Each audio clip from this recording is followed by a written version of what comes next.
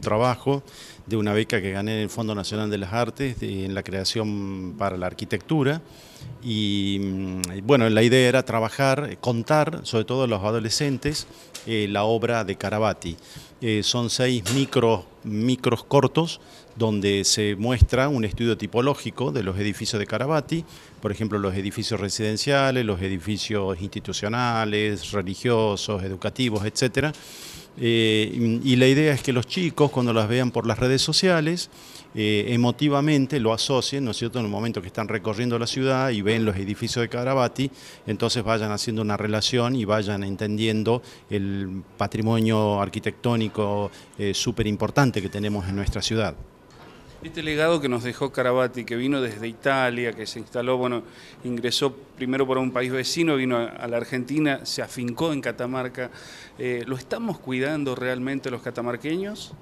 Eh, yo creo que sí, que está presente todavía Carabati, porque me cruzo con mucha gente, mucha gente joven, no tan jovencitos como lo que vamos a mostrar en el video, porque está destinado a adolescentes, pero que están, eh, que conocen a Carabati. Y yo creo que en los últimos tiempos se ha hecho mucho en esta provincia y en el municipio para eh, revalorizar la figura de él. Por ejemplo, el tema de poner en, valor las obras, ¿no es cierto?, como esta casa, ¿no es cierto?, que fue la casa del gobernador Navarro, que hoy es Casa de la Cultura, o la Casa de Carabati, que es el Museo de Arte Contemporáneo también de la municipalidad.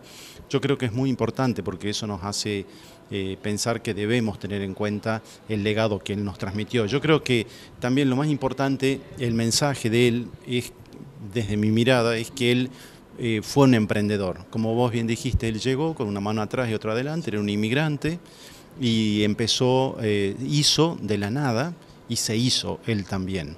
Entonces eso es muy importante, sobre todo para los más jóvenes, que entiendan que tenemos que nosotros mismos construirnos y nosotros tenemos que construir esta sociedad. Y creo que él de la nada, de un páramo, porque no era nada Catamarca en ese momento, la ciudad, tengamos en cuenta que a la gente le gustaba más vivir en las chacras que vivir acá, él fue construyendo una ciudad, fue haciendo un plan urbano ambiental tácito y fue construyendo muchísimo y muchos construyeron a la manera de él. Por eso que yo también le llamo la, la escuela de Carabati, ¿no? Arquitecto, ¿cuáles van a ser estas cinco obras que se van a estar exponiendo? Sí, son cinco eh, tipologías.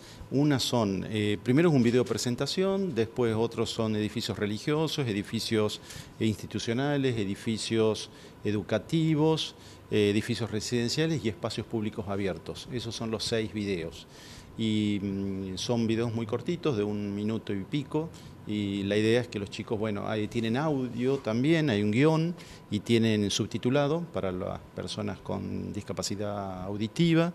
Así que, bueno, para que los chicos lo compartan en las redes. hoy voy a contar un poco esto, que está, mm, el mundo ha cambiado, los chicos están eh, online y offline. Entonces, y ya no distinguen la frontera entre una, una situación y la otra.